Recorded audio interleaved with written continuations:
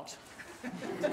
um, it's a pleasure to be here. Um, it's a pleasure to have um, uh, representatives from my two universities, the University of Cape Town and the University of Salford here. Um, also somewhere there's an internet archaeologist uh, in the audience, which is great because I'm an archaeologist. And um, there's something nice about talking about the Finch report in the Wren room, isn't there? You know.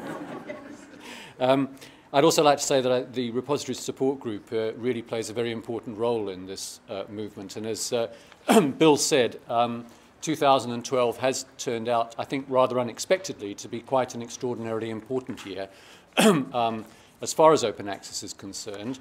And what I wanted to do was to go through some of the current uh, developments and the state of the landscape and highlight some of the key policy decisions that will be made over the next couple of months which will really, I think, determine whether this takes off in a way that is continues to be beneficial or whether we're going to see um, some snagging in progress that we need to pay attention to. Um, I'm always slightly nervous talking ahead of Alma, and, but uh, she, she won't hesitate to correct me if, uh, if, if, if, I get something wrong. Um, so let me go on to this. Um, my proposition uh, behind open access uh, is that it, it, it is inevitable. We sometimes lose sight of that in the cut and thrust of policy developments and debates, particularly when we get down to the detail of particular forms of licensing or, or particular arguments about embargo periods for journals. Um, but my, my, my start, started pr proposition is that in the digital world that we live in, uh, paywalls are simply not sustainable. And if we step back a little bit from that, of course, that's something the music industry has discovered. It's something that the film industry has discovered. And it's something anybody who's got a smart 15 year old knows. Um, and that is that you can't protect them ultimately because you've got the spillover effects uh, that are a feature of forms of digital communication. So I think the real issue here is the length and nature of the transition, not whether it's going to happen or not. Uh, and that's the, the landscape we're navigating.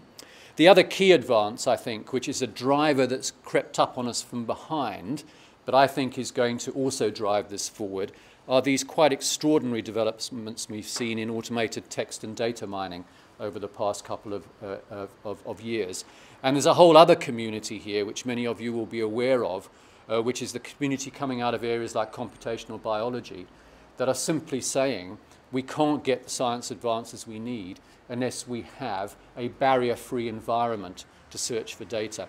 And I've been completely blown away uh, by some of the things uh, that, that, that, that, current developments in text and data mining can actually do uh, with information. It's quite extraordinary, in fact, when you think about uh, uh, extracting numerical data uh, from textual sources with degrees of accuracy that can allow you to test potential pharmaceutical developments in drug design, for example. So we're seeing that coming through from a community that's very different from the sort of community that's advocated traditionally for open access. So there's a bit of convergence going on here, which I think is very interesting.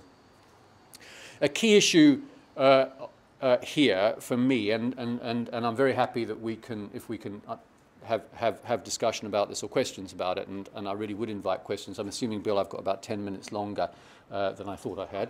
Um, um, uh, the, the, a key driving issue here, and which is, which is key to any sort of consensus that we're managing to develop in the Finch group, is that freedom of access is not access for free. Um, and it is a very important point. And of course, uh, if you want to get anybody from a commercial uh, shareholder benefit driven publisher through to a scholarly society on board with this, you've simply got to acknowledge that point. And I would hope that we're all well beyond the notion that simply because it's on the internet doesn't cost anything. And unless you put this in, uh, you uh, don't uh, get into the uh, possibilities of viable policy. And of course, I don't have to tell an audience like this that all scholarly communications have uh, some form of intermediary cost. Um, and that you've got to take that into account. The costs, of course, are fundamentally different from, pa from paper publishing, but they're nevertheless there. Um, and uh, again, to take quite a pragmatic view on this, for me, full open access, which you can call it what you like, you can call it a pure gold world if you like, uh, will require uh, full and upfront APCs. Um, and that's the premise that, that, that we've been working on, because otherwise you don't meet the intermediary costs. And of course, if you have everybody publishing with full upfront APCs, then um, the distinction between green and gold simply becomes an anachronism. Um, And that's, that's my sense of the, of, the, of the direction we're going in. Just as a sideline, by the way, um, there is extraordinary confusion uh, uh, about the use of the terms green and gold out there, and I wonder whether they're continuing to be that useful um, in steering these sorts of policy directions. Um, a, a, a, third bullet point for me, which is also important, um, is that I really think it's important that APC levels remain unregulated. There's a tendency in policy development, uh, particularly in this country, to always seek some form of regulation. Uh, as a Vice Chancellor, I can tell you that the notion that we have a market um, in student fees uh, when both quantity and price are strictly controlled by government is one of the biggest fictions I've ever come across in my life. Because the notion of a market where both basic, basically both price and quantity are regulated is by definition not a market. And there's a tendency in these discussions to say, oh, well, somehow we've got to regulate APCs. Now, the reason for that is usually um, because the notion is that you've got to regulate the rapacious interests of publishers who people suspect will immediately pile on the fees if it's not regulated. I think actually quite the opposite will happen. If you don't regulate APCs, you're going to see lots of innovative people coming into the market, and they will, in fact, position very expensive publishers um, actually out of the market. Because ultimately, of course, a journal only has reputation if reputable scientists choose to publish in it. Otherwise, it's got no intellectual capital. So if a journal like Nature, uh, I'm not picking them out because I think that they will in fact go to very high APCs. Of course, they're not there at all at the moment, really. If a journal like Nature were to, were to persist uh, in the face of the market at, let's say, charging 5,000 US dollars in APCs, um, what would happen is that the scientists who publish in Nature would actually establish a reputable alternative. Um, and we've got to have an unregulated environment, otherwise we're not going to get innovation and we're not going to get prices down. Um, and again, um, a final obvious point to an audience like this, but not necessarily obvious to everybody else, if you've got all scholarly publications with full and upfront APCs, um, you don't need restrictions after publication. So you actually get to full CC BY. Um, because, of course, why do you want to regulate? Um, if you're a publisher, you've taken your margin out beforehand in a, in a true market situation. It's available. Why not let everybody distribute it freely? And, and I think that, that, that's the sort of uh, uh a thing that all the creative industries are eventually going, to, going towards. Now, the, the music and film industries are finding it very difficult to get to that particular point. But that's what innovation's um, all, all, about. Um, so some of the policy drivers uh, at the moment um, that are really, I think, making the running on this um, the precedent of the Wellcome Trust is more and more important um, in terms of, of, of, of, what happens for the simple reason that the Wellcome Trust has used its muscle uh, to show how this can be done. Now, people might disagree with certain aspects of, of, the Wellcome Trust settlement around publications, and the Wellcome Trust itself would say that they haven't done enough uh, to ensure compliance by their grant holders for open access publication, and they're looking at that, so they're very upfront, up, upfront and open about it but they have taken a very important principled position about the open access for the research that they fund. And that's increasingly being used as a stable benchmark in these policy environments. It helps us enormously because when people come back and say, well, you're in uncharted territory, you can't risk this, you can turn around and say, well, what does the Wellcome Trust say? And that's actually politically very valuable. Um, second key driver, Research Councils UK. Uh, many of you will be aware of this. Um, and that is uh, their, their emerging consensus uh, that there, are, there should be open access requirements for all publicly funded research. Remember, they only have jurisdiction over the research that they fund, but they can require uh, how it's published. And I'll come on to that in a minute um, because that is one of the key things over the next couple of months. Now, although there's been a lot of positive noise, we are not out of the woods yet on that one. Uh, then HEFCE, the Higher Education Funding Council for England. It's very important uh, that we remember it's the only the funding council for England. It's not for Northern Ireland, Scotland or Wales. Uh, so there are other funding councils. Um, but HEFCE has given a preliminary indication that they are considering uh, requiring that all submissions in the 2020 Research Excellence Framework, in other words, the next one, after the current one, are actually open access uh, uh, at the point when the submission is made, which would probably be, well caught, which would probably be in 2019. They haven't made that position yet, and they haven't amplified what they mean by it. Um, Uh, and there are a lot of issues about what they mean by it. But again, it's an imp important, important position. Turning now to the publishers, um, I found in the work that we've done that it's really important not to demonize uh, uh, uh publishers. I'm quite on for demonizing one or two publishers, um, but uh, uh, we do use the term publishers rather broadly, uh, forgetting that it includes some very important non-profit publishers as well, and scholarly societies and all sorts of other people. Um, but there are important publishers' initiatives, uh, and one of them is the current UK Public Library Initiative, which I know some people drew, uh, uh, uh view with great sus suspicion, but it will be a part of the Finch report, uh, and that is the proposal uh, that a consortium of publishers provide open access to all of their journals as long as they are accessed through a public library, um, on site through a public library. Um, and that, that's, you'll immediately see um, that from a government minister's point of view, that's got a lot of traction. Um, and it's likely to be in there because of the, uh, the of, of, of, of the politics. Then you've got the Coalition Research and Innovation Policy, which I think is a really important document. And the really interesting stuff's towards the end. And it's, of course, the announcement uh, that the government, on principle, uh, wants to provide open access to publicly owned data sets.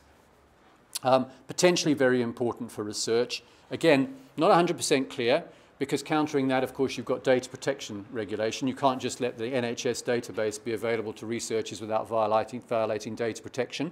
So a lot of work to be done before open access to uh, um, uh, general data sets is, is, is home and dry. But again, I think it's a game changer as far as open access is concerned. And then the other policy driver is, well, Elsevier has done us the biggest favour of all.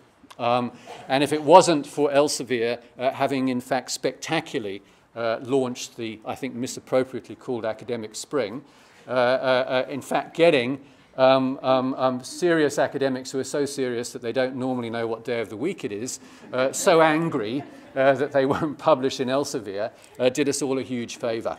Um, and combining that with, I think, 38% profit margin in their last reported year was about the best thing that could happen for the open access movement. So thank you, Elsevier, for a major contribution. So navigating this transition then. Um, what, what the, the, the, term that's coming out at the moment, and this is, remember this is all in, in, in, in my framework of it's a transition, and the issue is how long is the transition?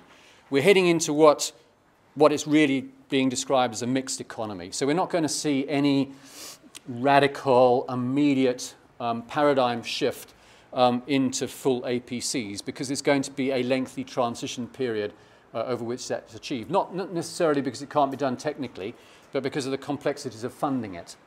Um, and we're seeing a mixed economy where we're going to get a combination of which we already have of APCs, hybrid journal, and licensing arrangements, and that's going to persist uh, for some time in the transition. And we're going to get different national paces of, uh, uh, uh, paces of change um, uh, within uh, different sorts of countries. Um, and um, one of the issues that, that, that, that, gets sticky here and constantly comes up in the debates about this um, is um, whether or not uh, by, by leading on um, open access, British publicly funded research is giving away its property to the, to, to the rest of the world. Now, this is actually really a bit of a silly argument in one sense, because of course, the whole point about publishing is to give the work away. That's how academic work works. You want citations in re return for distributing the work. Um, that's, that's what drives academic work. And of course, anybody in the world can get access uh, to, to, to British research. The question is whether you have to pay for it or not via a license or a subscription. And the other reason why it tends to get, be, be, be a bit of a difficult argument is because you, you then get right back to the commercial publisher argument that they've got all these deals for the third world anyway, um, and they're giving lots of it away. So it's a bit of a, of a bit of a, of a cul-de-sac uh, when it comes to arguments, but it is a political reality. It also gets tied up with with a, with, with, with, with, a, with a fair degree of hubris, um, which maybe I'm just individually oversensitized to, having spent a lot of time working in South Africa. And that is sort of, um, it's like an almost jubilee feeling. You know, it's Britain's God-given role in leading the world on innovation. So there's a bit in there that says, Britain has to lead on this because it's our national duty uh, to lead on open innovation. Uh, which I think for everybody else across the world who's also working hard at that, that's a little bit offensive um, because uh, what does it feel like if you've been pushing for this in, in, in Europe across some of the consortia that, that Alma works with all the time? Um, so, and it's also counterbalanced, of course, by pretty big doses of self-interest uh, in this sense. But, but I think this is actually a pace of change issue because if you go back to the fundamental principle, why on earth would, I mean, it's, all, it's, it's actually all ultimately about China. There's this big threat. Somehow the Chinese are going to put up paywalls and they're going to charge us all for their research, but they're going to exploit our open access research. But you see, if you go back to the basic principles, why would China be any more interested or capable of maintaining paywalls for academic research than any other country? I mean, first of all, the technology is their technology. They have enough difficulty with their security services in maintaining it, and they haven't even taken on the academic community. But why would they want to anyway? Because they want Chinese science to be recognized in the rest of the world. That's the whole point about it. Um, and of course, we're seeing, as, as Bill said, very important parallel developments in the US. So why would the US, why would we lead where the US lagged in terms of research developments? You say, universities like Harvard been making this point repeatedly, very important developments. But it is a, you've got to watch out for it, for it's, it, it, it's, it's a little bit of the politics of this, and it really needs clarity of thought to allow that argument to, to, to get out of hand.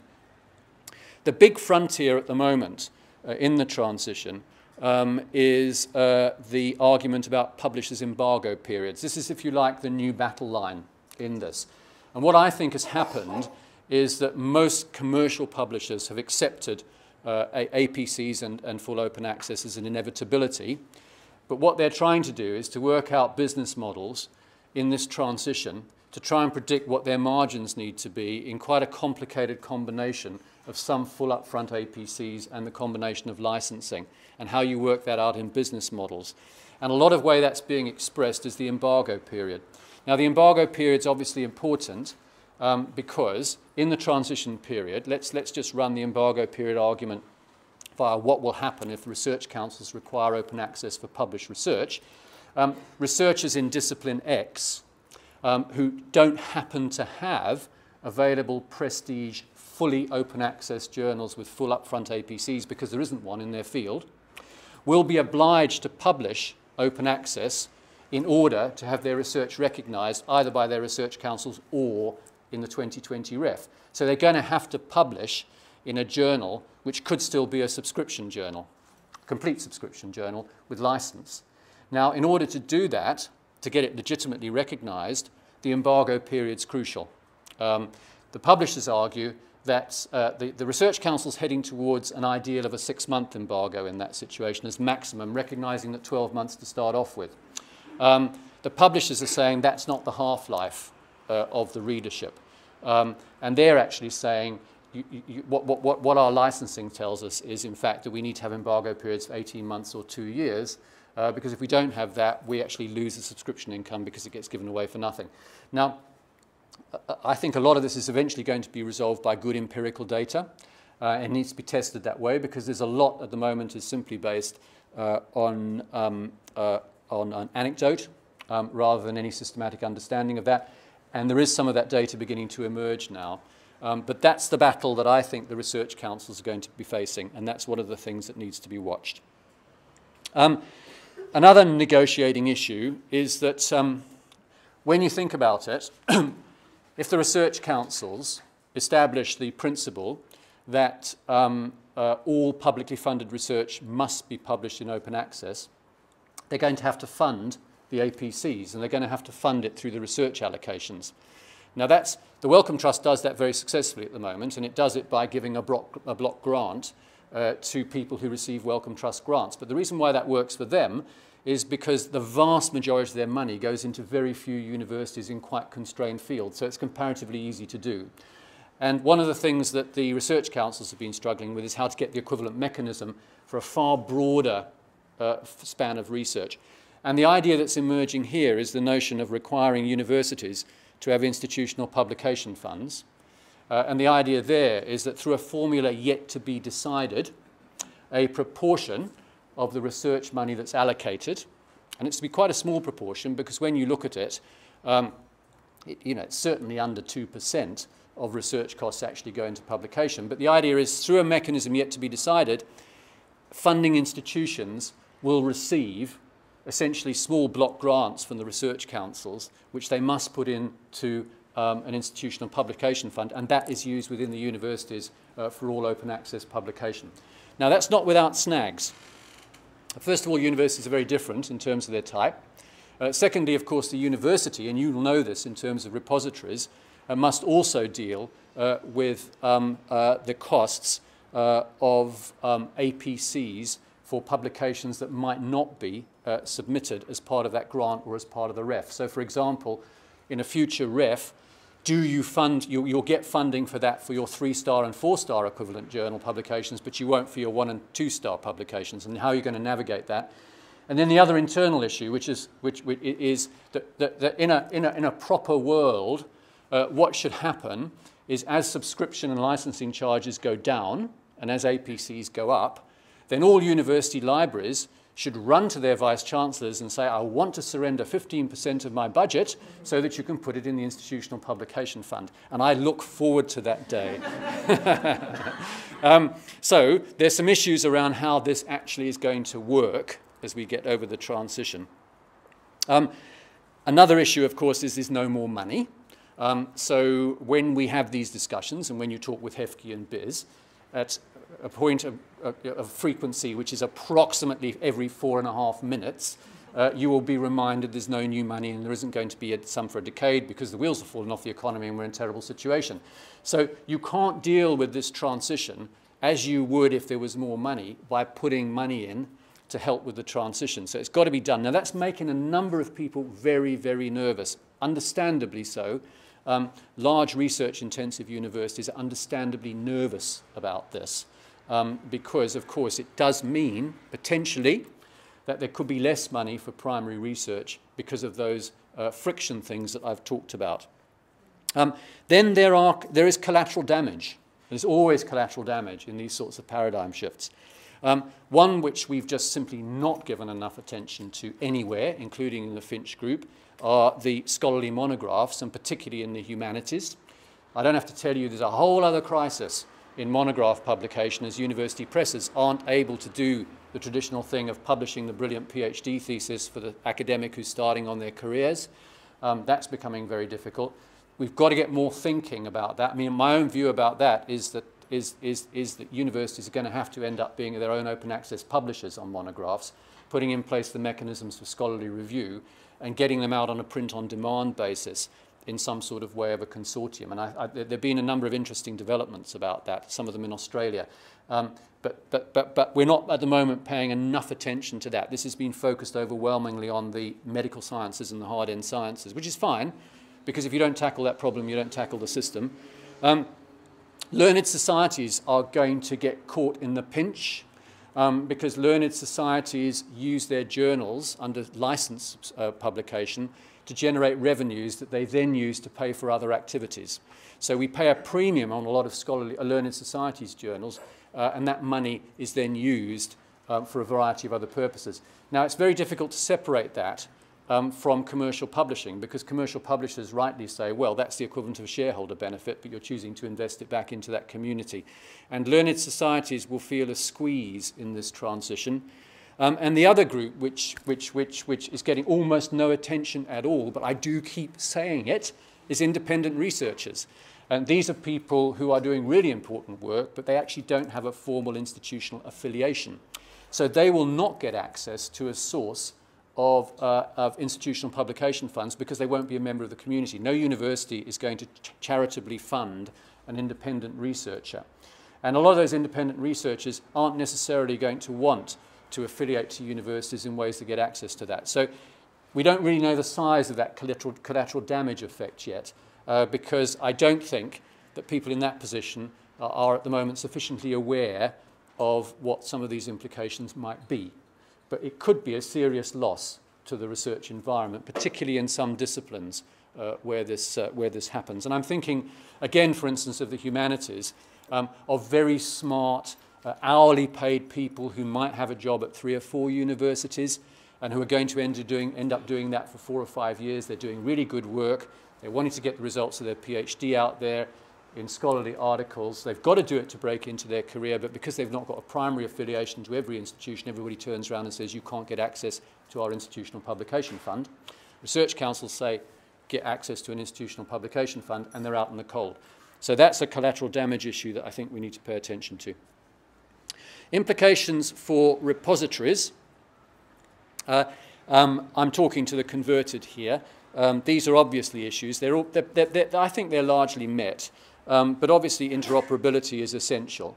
Uh, we can't get into a situation where we get new roadblocks, and, and I just get obsessed with issues of metadata here. Um, because if we're going to get full searchability, we've got to get that. A lot of that's in place already, but it's important to flag it um, because we don't want to get more friction into the system. There's a certain sort of argument which I don't personally fully understand about whether we should have disciplinary-based repositories versus institutional repositories. It seems to be an issue for some people. Um, I don't personally see why. Um, it's kind of like let a thousand repositories bloom as far as I'm concerned. I mean, if there is a need for them, let's have them. Um, but it is something that's being discussed. Um, but what we are looking for, I think, is, is convergence to what is essentially a single borderless virtual library um, where you're going to go in through these routes and get access to the stuff. And wouldn't that be wonderful? So your students at a university essentially don't have to be subscribed into a consortium catalogue or an institutional catalogue because it doesn't matter anymore. I think that has very, very, very, very interesting implications uh, for people uh, like many of you who work in this environment.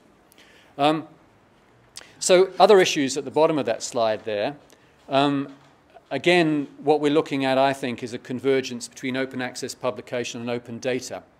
Uh, because, of course, uh, what happens, and you'll know this because a lot of repositories do this already, is that when you're moving towards full open access um, and you've got a very important paper, it's a natural development to hyperlink the data sources to that so that people get access to that data in an open way.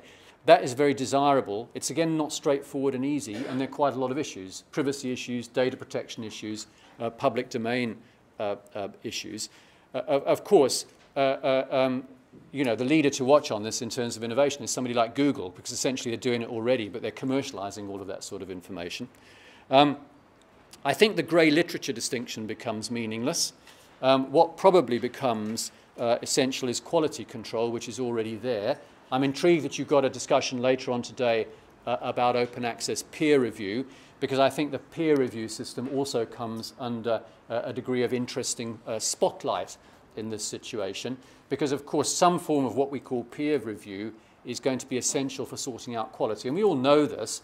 I mean, when we use search engines, you know, we can get 500 hits. Our problem is not getting the hits, it's working out what's good and what's not good uh, through them. So the quality control remains crucial. Um, and again, I've mentioned earlier that I think universities and university consortia will move towards self-publishing scholarly e-books uh, because we haven't tackled this issue uh, of uh, specialist monographs. Some milestones to watch. Um, the Finch Group report, uh, we uh, expect a final draft of that uh, at the end of this weekend. Um, long public holidays have their values. Um, and uh, the moment target of that is to uh, uh, publish that in mid-June. I think this is entirely up to ministerial schedules. It's a matter of uh, which minister is going to announce it where and how it fits in with that. But the report will be ready within a couple of weeks. Now, what the report will do is that it will um, um, um, set in motion a string of subsequent events because, of course, the Finch Group hasn't got any standing to rule on open access as far as the research councils or HEFCE are concerned. So two subsequent very important decisions are which way the research councils jump, uh, whether or not uh, they do go uh, with their professional recommendations, remembering, of course, that the professionals making the recommendations don't ultimately make the governance decisions, uh, with um, uh, all uh, funded research being OA with a maximum 12-month embargo and full CC BY licenses. Now, that's the, that's the line, and the next key milestone is whether that actually is enacted by the research councils. And then the third issue, which I've mentioned, is whether the HEFCE board um, goes for all 2020 submissions to be OA in principle. Now, all of those decisions are scheduled to happen in June or July at the moment. Um, so you're going to get that stuff there. Um, and I think if that, if that, if that all happens, um, then there's going to be quite a significant increased interest in literally all forms of institutional repositories. So that's all I had um, by sketching out the landscape. And it would probably be most useful if I use the remaining, what, 15 minutes? 15?